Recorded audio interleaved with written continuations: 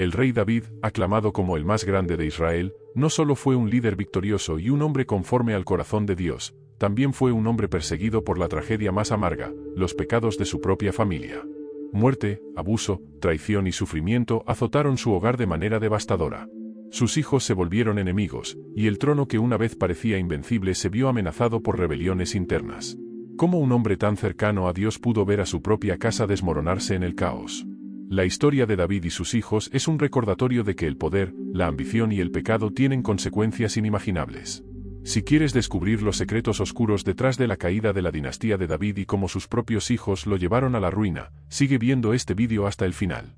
Y si no quieres perderte más historias bíblicas impactantes, suscríbete y comparte este vídeo con aquellos que buscan el verdadero significado detrás de estos relatos. Lo que estás a punto de escuchar te sorprenderá. David, el joven pastor que fue ungido en secreto por el profeta Samuel, no tardó en destacar en la historia de Israel. Tras derrotar al gigante Goliat y ganarse la confianza del rey Saúl, su popularidad creció rápidamente. Sin embargo, el camino al trono no fue fácil. David debió huir, esconderse y luchar por su vida antes de ser finalmente reconocido como el legítimo rey de Israel. Una vez en el poder, su reinado fue sinónimo de conquistas militares y expansión territorial. Bajo su mando, Israel experimentó su época dorada, consolidándose como una nación fuerte y respetada por sus enemigos. Sin embargo, detrás de los éxitos en el campo de batalla, se gestaba una tragedia personal que marcaría para siempre la vida de David. En el apogeo de su reinado, cuando parecía que nada podía amenazar su autoridad, David cometió un error que cambiaría el curso de su historia. Mientras sus soldados luchaban en el frente, David se dejó llevar por la tentación al observar desde su palacio a Betsabé, la esposa de Urías, uno de sus más leales soldados. Lo que comenzó como una mirada furtiva se transformó en una pasión prohibida. David, cegado por el deseo, mandó a traer a Betsabé y se acostó con ella, quebrantando no solo los mandamientos de Dios, sino también la confianza de su pueblo. La situación empeoró cuando Betsabé quedó embarazada. En lugar de confesar su pecado, David decidió encubrir su falta de la manera más siniestra, ordenó la muerte de Urías en el campo de batalla, asegurando que su crimen quedara oculto. Lo que David no sabía era que este acto no pasaría desapercibido a los ojos de Dios. El silencio que siguió al pecado de David fue roto por la voz del profeta Natán. Con una parábola sobre un hombre rico que robaba la única oveja de un hombre pobre, Natán confrontó a David, revelándole que él era ese hombre. David, un rey acostumbrado a la victoria, se encontraba ahora enfrentado a una derrota moral devastadora. Natán le entregó un mensaje de juicio, la espada nunca se apartará de tu casa. No solo David sufriría por su pecado, sino que su descendencia llevaría las consecuencias de sus acciones. La paz que una vez había reinado en su hogar, pronto sería sustituida por tragedias y conflictos que desgarrarían a su familia desde adentro. La justicia divina no tardó en manifestarse. El hijo que Betsabé había concebido en adulterio enfermó gravemente. David, abrumado por la culpa y el dolor, ayunó y oró desesperadamente, implorando por la vida del niño. Sin embargo, el juicio de Dios era irreversible. El niño murió, y con su muerte, comenzó una cadena de sufrimientos en la vida de David que lo marcarían para siempre. El primer golpe había sido asestado, pero el dolor apenas comenzaba. David comprendió que el precio de su transgresión sería alto, y que cada paso que había dado en su pecado le había conducido a un abismo de tragedias familiares. El pecado de David con Betsabé no solo trajo consecuencias inmediatas, sino que sembró una semilla de destrucción en su propia casa.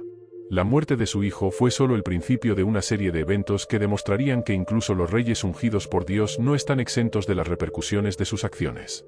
Lo que había comenzado como una decisión momentánea de indulgencia personal, se transformó en una espiral de sufrimiento y conflicto que desgarraría a su familia.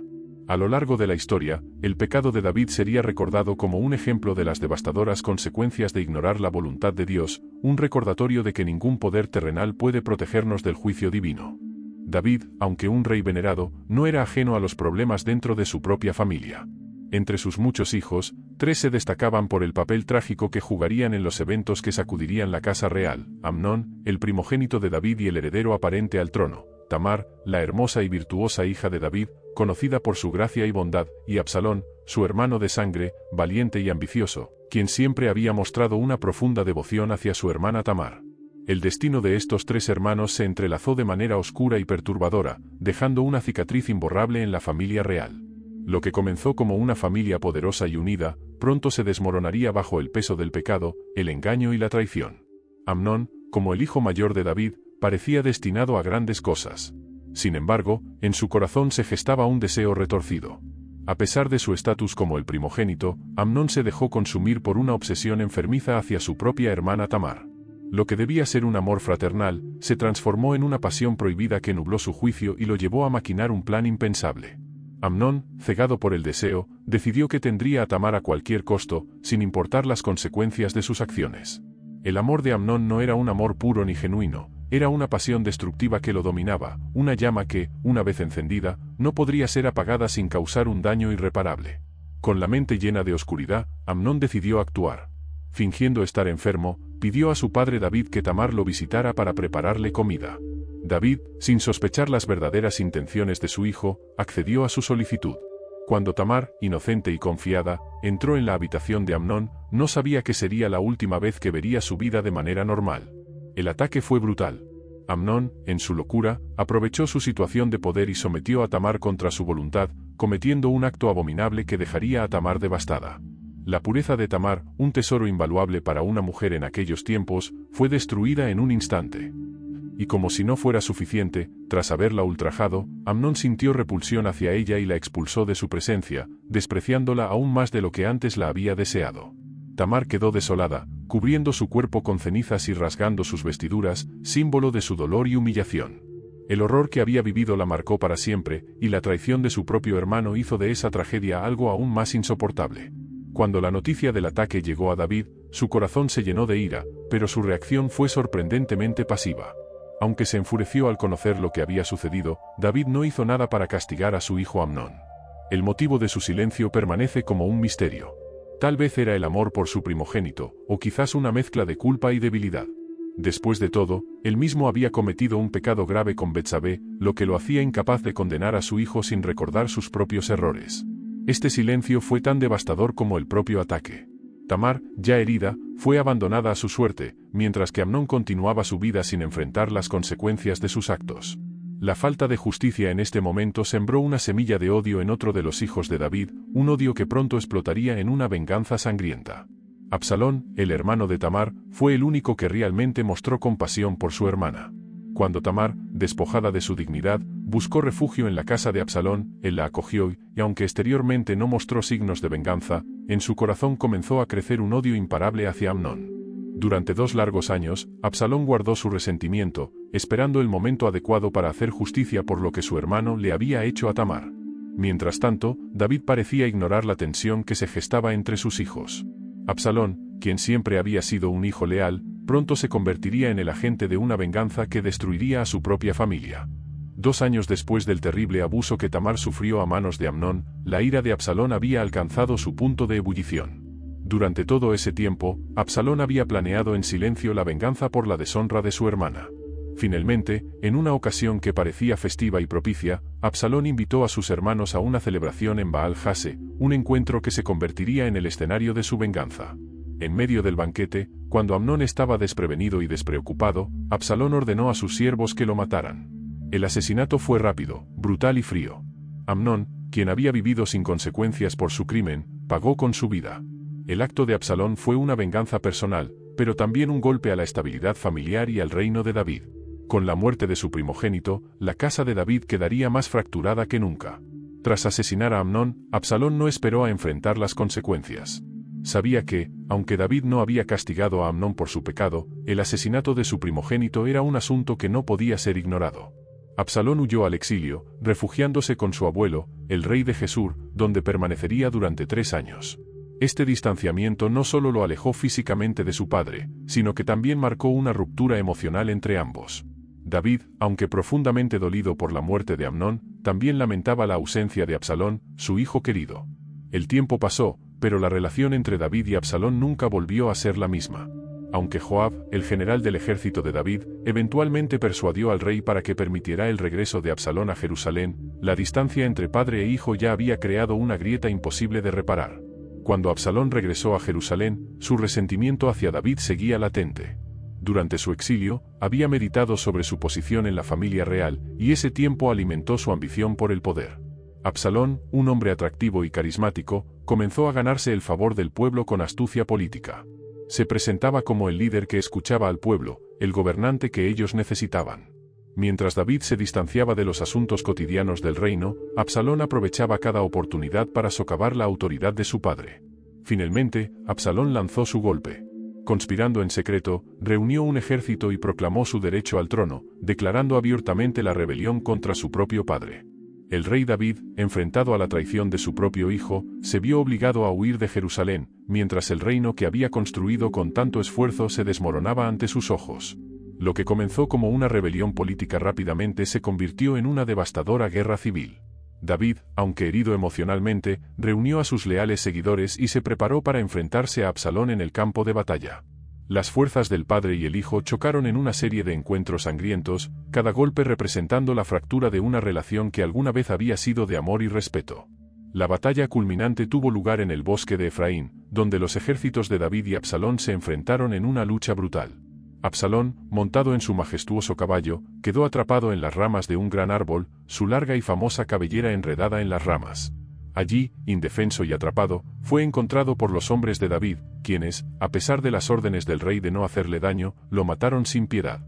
El hijo que una vez fue amado, ahora caía víctima de su propia rebelión. La noticia de la muerte de Absalón llegó rápidamente a David, y aunque había ordenado no hacerle daño, la realidad de su fallecimiento lo destrozó. En lugar de sentirse aliviado por el fin de la rebelión, David quedó abatido por la pérdida de su hijo. El grito de dolor que exclamó resuena en las páginas de la historia, oh, Absalón, hijo mío, hijo mío. Si tan solo yo hubiera muerto en tu lugar. El llanto de David no solo reflejaba la tristeza de un padre que había perdido a su hijo, sino también el peso de la culpa que cargaba por las tragedias que se habían desencadenado en su familia. El asesinato de Amnón, el abuso de Tamar y ahora la muerte de Absalón, todo se sentía como el resultado de una cadena de errores que había comenzado con su propio pecado. A pesar de la serie de tragedias que ya habían azotado a la familia de David, el conflicto dentro de su dinastía estaba lejos de haber terminado. Cuando David ya era anciano y su salud comenzaba a deteriorarse, la lucha por el trono resurgió. Adonías, otro de los hijos de David, creyó que el momento había llegado para reclamar lo que, en su mente, le pertenecía por derecho. Siguiendo los pasos de su difunto hermano Absalón, Adonías se proclamó rey, confiado en que podría aprovechar la debilidad de su padre para hacerse con el poder. Con la audacia que lo caracterizaba, Adonías organizó una ceremonia para coronarse a sí mismo, rodeado de importantes figuras políticas y militares que lo apoyaban. Creía que su linaje y el vacío de poder lo hacían el candidato natural para suceder a David. Sin embargo, su ambición cegó su juicio, ignorando las verdaderas intenciones de David y los planes que ya se habían trazado para el futuro del reino. Pero Adonías no contaba con un factor decisivo, Salomón. Aunque más joven que Adonías, Salomón había sido elegido por David y respaldado por el profeta Natán y Betsabé, la madre de Salomón, como el legítimo sucesor al trono. Cuando Betsabé y Natán se enteraron de las maquinaciones de Adonías, actuaron rápidamente para asegurar que la voluntad de David se cumpliera. Betsabé, con la astucia que la había caracterizado durante años en la corte, se acercó a David en sus últimos días para recordarle su promesa de hacer a Salomón su sucesor. Con la bendición de David, Salomón fue proclamado rey en una ceremonia oficial que contó con el respaldo de los leales al trono. La acción de David fue firme y decisiva, asegurando que la transición de poder fuera controlada y que el trono no cayera en manos equivocadas. La proclamación de Salomón como rey no apagó el fuego de la ambición de Adonías. Aunque derrotado políticamente, Adonías no se dio por vencido. Buscó otra oportunidad para obtener el poder a través de una petición aparentemente inocente, pidió la mano de Abisag, la joven que había cuidado a David en sus últimos días. Sin embargo, Salomón vio a través de las verdaderas intenciones de su hermano. La solicitud de Adonías era un intento disfrazado de legitimar una reclamación al trono. Salomón, sabiendo que su reinado sería frágil si no tomaba decisiones contundentes, ordenó la ejecución de Adonías, viendo en él una amenaza constante para la estabilidad del reino. Una vez más, la espada de la tragedia cayó sobre la casa de David. La muerte de Adonías, aunque necesaria para proteger el reino, representaba otro capítulo sombrío en la historia de una familia que no dejaba de autodestruirse. Con la muerte de Adonías, parecía que el reino de David había logrado sobrevivir a otra amenaza interna. Sin embargo, el costo de tantos conflictos familiares había dejado una marca imborrable en la dinastía. Aunque Salomón ascendió al trono como el heredero legítimo, las luchas de poder internas ya habían debilitado el reino de Israel. Los continuos enfrentamientos entre los hijos de David y la falta de unidad en la familia real pusieron en evidencia la fragilidad del reino. La grandeza que David había construido comenzó a mostrar grietas, y aunque Salomón lograría consolidar su poder durante su reinado, las semillas de la discordia ya habían sido sembradas. Eventualmente, tras la muerte de Salomón, el reino se dividiría, debilitando lo que alguna vez había sido una nación poderosa y unida bajo el liderazgo de David. El legado de David es, sin duda, uno de los más complejos en la historia de Israel. Aunque fue un rey conforme al corazón de Dios, las consecuencias de sus decisiones personales afectaron profundamente a su familia y a su reino. El ascenso de Adonías y su posterior muerte subrayan un tema recurrente en la vida de David, la traición y la lucha por el poder. La dinastía de David, que comenzó con tanta esperanza y promesas, terminó fracturada por la ambición de sus propios hijos. La historia de la familia de David es una advertencia sobre los peligros del poder sin control y la devastación que la traición puede causar, no solo en una familia, sino en toda una nación. Aunque Salomón logró mantener el reino unido por un tiempo, las cicatrices de las luchas internas nunca desaparecieron del todo. Con la muerte de David, el trono pasó a manos de Salomón, el hijo que había sido elegido para continuar el legado de la dinastía. El reinado de Salomón trajo consigo una época de esplendor y sabiduría, una etapa en la que Israel alcanzó una gloria sin precedentes. Fue durante este tiempo que se construyó el magnífico templo de Jerusalén, un símbolo de la devoción del pueblo a Dios y del poder de la nación. Sin embargo, aunque Salomón consolidó el linaje de su padre y llevó al reino a la cumbre de su poder, las sombras de las tragedias familiares que lo precedieron nunca desaparecieron del todo. El reinado de Salomón, aunque grandioso, estaba marcado por los sacrificios personales que su padre, David, había tenido que enfrentar. Las cicatrices emocionales y los conflictos no resueltos dentro de la familia real seguirían siendo un recordatorio constante del precio que pagó la casa de David por sus errores. David, un hombre descrito como, conforme al corazón de Dios, no estuvo exento de la miseria personal. Los muchos pecados y decisiones equivocadas que cometió a lo largo de su vida lo persiguieron hasta sus últimos días. Desde la muerte de su hijo con Betsabé, pasando por el abuso de Tamar, la rebelión de Absalón, y finalmente, la traición de Adonías, David cargó con el dolor de ver a su familia desmoronarse bajo el peso de las consecuencias de sus propios actos. Cada hijo que perdió, cada traición que enfrentó, fueron recordatorios de su humanidad y de las devastadoras consecuencias de ignorar los mandamientos divinos. Pero en medio de ese sufrimiento, también hubo un atisbo de redención que marcó el destino final de David y su linaje. A pesar de todos los errores y tragedias, Dios nunca apartó su mirada de David. El sufrimiento que David soportó, aunque doloroso, no fue en vano. A través de sus pruebas y tribulaciones, Dios forjó una nueva etapa en su plan divino. De la casa de David, marcada por el pecado y la traición, surgió la promesa de un rey eterno. Fue a través del linaje de David que nacería el Salvador, Jesucristo, redimiendo no solo a la casa de David, sino a toda la humanidad. Este es el mensaje de redención que emerge de la vida de David, que incluso en medio del caos, el dolor y las fallas, Dios es capaz de usar nuestras vidas para cumplir un propósito mayor. Las caídas de David no lo definieron, sino que fueron utilizadas por Dios para manifestar su gracia y misericordia. La historia de David y sus hijos es una advertencia poderosa para todos aquellos que anhelan el poder y la gloria. Nos enseña que ningún éxito, por más grande que sea, puede compensar las consecuencias del pecado no resuelto. La ambición, la traición y la falta de disciplina pueden destruir incluso las dinastías más fuertes. David, a pesar de su amor por Dios y de sus muchas virtudes, enfrentó los resultados de sus decisiones y los pecados que cometió. La lección para las generaciones futuras es clara, el poder no debe venir a costa de la familia ni de la obediencia a Dios. El legado de David es uno de los más complejos y fascinantes de la Biblia. Fue un rey formidable, un poeta y músico que dejó un impacto duradero en Israel. Sin embargo, también fue un hombre cuya vida personal estuvo marcada por tragedias familiares devastadoras. Aunque vivió grandes triunfos, su historia es también una crónica de dolor, traición y arrepentimiento. A través de la vida de David, Dios nos muestra tanto la justicia como la redención. Nos recuerda que, aunque somos falibles y propensos al error, su gracia es infinita, y siempre hay oportunidad de redención en su plan.